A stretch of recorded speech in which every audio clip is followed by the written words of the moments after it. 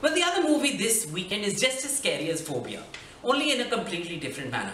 It's got the chills as far as violence and action is concerned, and that, of course, is riveting unto itself. Sandeep Bharadwaj, I'd say take the bow. Ram Gopal Verma, you have truly returned, and I'm happy about that. And Veerappan tells its story well. It's not perfectly as Veerappan would have been. It's not a true to life story.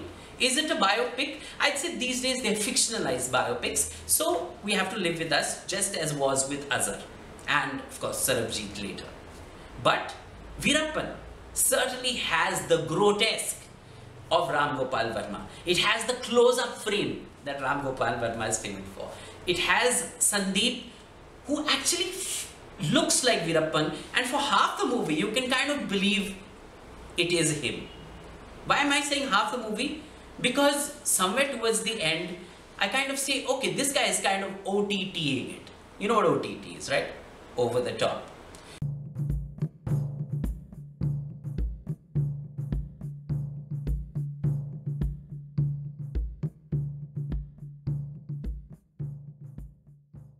as far as the cop in this movie is concerned, his name is Sachin Joshi, and yes, he's the producer of the movie as well. So he's got a huge chunk of the police work in this movie, and of course, the police work is is quite a large portion of this movie because well, it's about a brigand or a, a, a, a, violent man, a sandalwood and tusk smuggler who actually is being followed by this policeman and yes, so it is a chase of cat and mouse if we call Sachin Joshi the cat in this movie.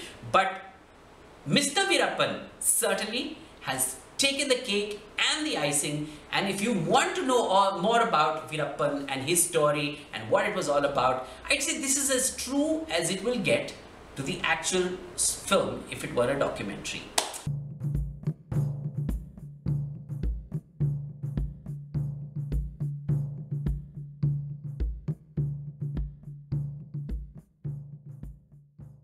Well, on that note, how much would I give it? Say because Ram Gopal Verma has returned, I'd like to give it 3. And because Sandeep has done such a great job of acting this out, I still like to give it 3. So 3 it is, two good movies to watch this weekend. The first one, of course, I've already talked about. It is Phobia. The second one being Veerappan. The rest, I don't think I'm going to see because I'll be out of breath. But on that note, we're going to close the reviews and we'll see you next week. Same time, same place on the reviews. Till then, it's a bye from.